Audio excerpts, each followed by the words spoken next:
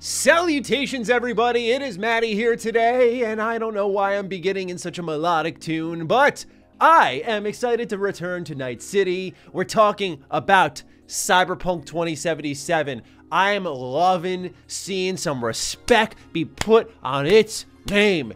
Ladies and gentlemen, Cyberpunk is enjoying its biggest bounce back yet. We thought the next gen launch would be that moment. No, it is actually seemingly Edgerunners, its update with the anime that is leading to Cyberpunk having the most players it's had since launch. I'm really pumped to talk about this on how update 1.6 has been bigger than expected on a feature front, which we're going to get into the nitty gritty on that alongside some mods. But also, we're going to talk about the profound impact that Cyberpunk 2077 is having on some people. So, ladies and gentlemen, if you're new here, whether you are enjoying the bounce back, maybe you skipped out on launch and you're hopping in now, or perhaps you've been here for the whole ride, welcome aboard. Consider subscribing if you're new. And with that, let's begin our conversation. So, the way this whole conversation started for me was when I saw over on the Twitter that CD Projekt Red had posted each day of this week, Night City has been visited by 1 million players, both new and returning.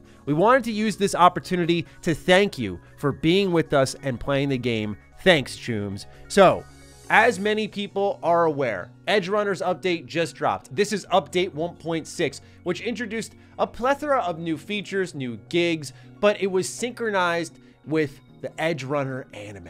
Now, I just started this last night. Your boy's three episodes deep, this thing is legit. Artistically, just oozes style. I love David Martinez as a character. It's given me, and I know this is a really big compliment. I'm not saying it, it is as good, but it is giving me Breaking Bad vibes where I feel every episode in Edgerunner that ends, I go, oh, I gotta know what happens next. And I click the next button.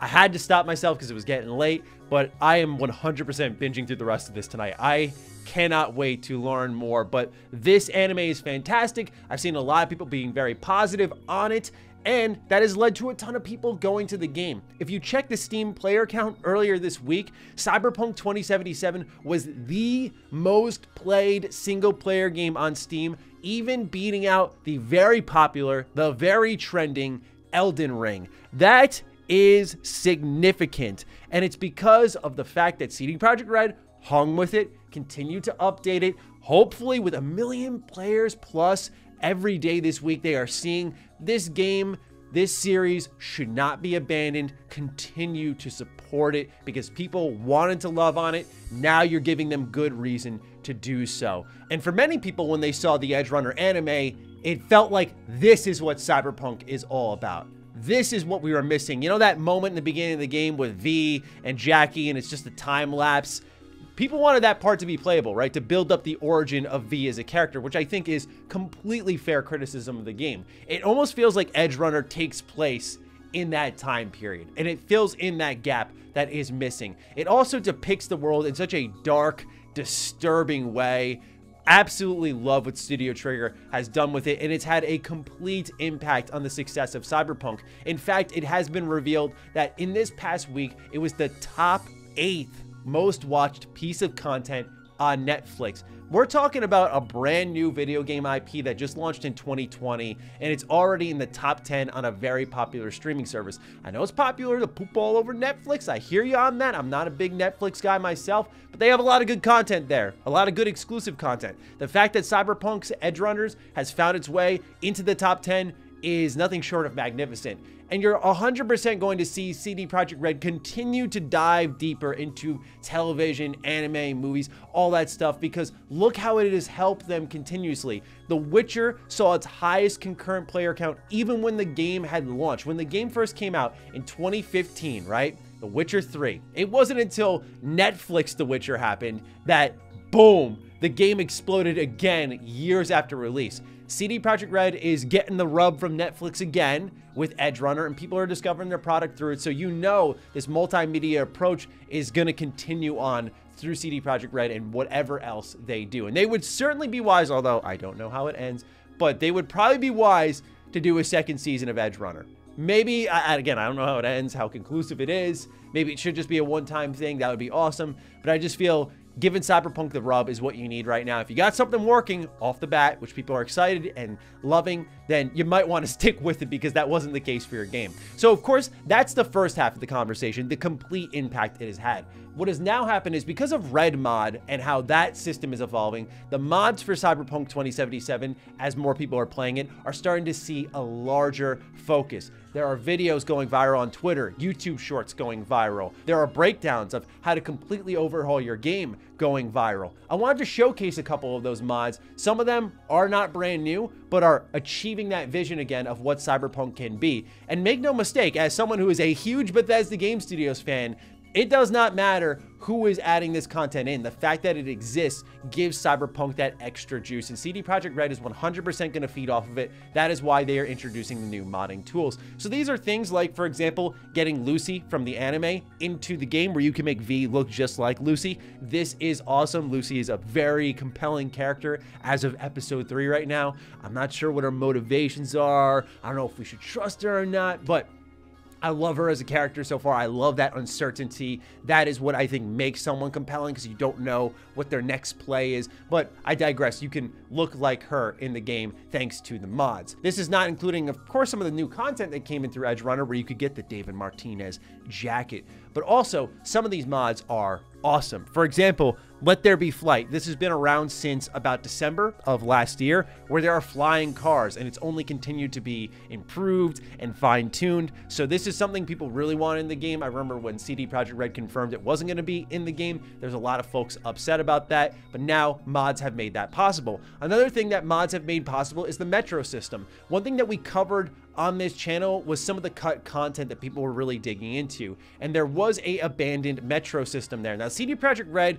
dismissed that and said, no, no, no, we were never going to do that. That wasn't part of the plans, but the assets were there. There was some type of idea that was being pursued, even if it was brief. Well, someone had taken it into their own hands, and now there's a fully functional metro system that you can use to travel between fast travel points in Cyberpunk 2077, and it works magnificently. It looks awesome. Some of the videos I've seen for it just really, again, bring the city to life as you're above it all, whether you're in the flying car or you're in the metro system, watching the city active beneath you. It makes you fall in love with the setting. So modding has also played a big part in people seeing the game and going, oh, I, I need to give this another shake. This looks too good to ignore. And more people are finding out the story's awesome, the gameplay is awesome. I think the choices in a lot of instances do leave a bit to be desired, but it is still a magnificent game. And then we get into update 1.6 itself. Now, I want to shout out my good friend Juicehead. We've collabed in the past, but he has a great video highlighting secret new features that have come out in patch 1.6. Now, comparatively speaking to previous updates, there are less new surprising features in Cyberpunk 2077 compared to like 1.3 or 1.5 where the next gen update dropped, but there still are some ones here. For example, in update 1.5, one of the more surprising things that made Cyberpunk a little more of a gritty world and kind of realized that vision that this place is truly disturbing, something that the anime captured really well, is you'd just be walking along and someone would jump off a building. Wait, what? There were just tons of secrets people were sharing all over Reddit. It isn't that explosive, but there are things like new choices in gigs, where there are exchanges of dialogue that reflect the decision making you've made in the past. For example, this one here with Big Pete, involving his friend Tiny Mike. There are other new interactions that you'll see throughout Night City, giving it a more dynamic feel. For example, a cop chasing down a, uh, a man in his underwear very nice to see. There's also more public protests in front of heavily armored NCPD soldiers.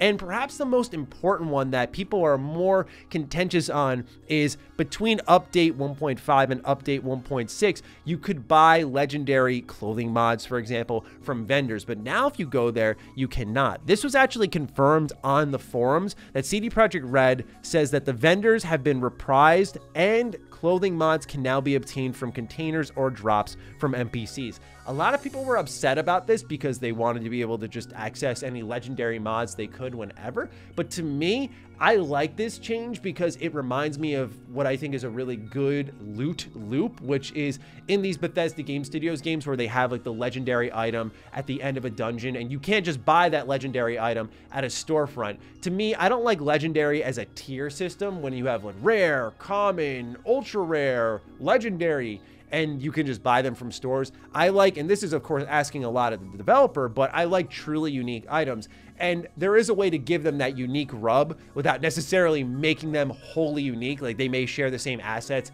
as other weapons or armor or cyberware in the game, but just a naming convention and a unique spot to find them in will make them feel individualized compared to what is happening here where you could buy them in the stores. So I do understand why some folks were upset that this was removed from the game, but for me personally looking at it, I would kind of rather it this way. I think it's a little more immersive. I think it helps the gameplay loop, especially with a lot of new players coming in. The loop for Cyberpunk has effectively changed. There's been so many adjustments even to the gigs where once you complete all the gigs you get one final award from the fixer there's just so many adjustments throughout the entire game that cd projekt red is truly finalizing the game in a lot of ways before our very eyes what I'm most excited about though is moving forward. We know every update moving forward for Cyberpunk 2077 is not going to use last gen features. I think this is a brave move because we see games like, for example, Resident Evil 4 Remake, which is going to be a megaton release, still hanging on to the PS4, which I, I did find very disappointing despite the scalability of the RE engine. I just, I don't know why we're still hanging around at this point. I don't think it is as difficult as it once was to get next gen consoles, especially if you're shopping for an Xbox and you could concede to a Series S, which is still a fantastic console. But don't don't get me started. I just think it's great to see that we do have developers willing to say, let's leave it behind and do what's best for the game because now we're bringing in that big audience, million plus players each day this week. People clearly like the IP Let's just deliver on some good stuff here. So things like the overhauled crime system, that I cannot wait to see in action. And I'm very interested to see how they roll it out. Each update has had the 1 point whatever, 1.4, 1.5, 1.6. Will the police overhaul just be an individual patch or will it be a part of update 1.7 with a couple of other new features? I'm just very interested to see how they continue to present it. My guess is they would continue on to 1.7, 8, 9, and then 2.0 might be with the expansion launch, and who knows what comes with that. That would be just terrific. But I find the future of this game to be very exciting. It's nice to see the conversation on it turning around. There was a period of time, as someone who's created content through the good and the bad of this game, there was a period of time that I started to get the fatigue because every video I posted on it, even when I was fair, critical, but I wasn't screeching about how bad the game was for other people, even though that's not representative of my thoughts.